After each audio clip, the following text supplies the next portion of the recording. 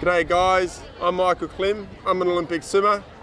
I think learn to swim is fantastic. It's a great skill for life, but it's also one that's crucial to keep you safe around the water.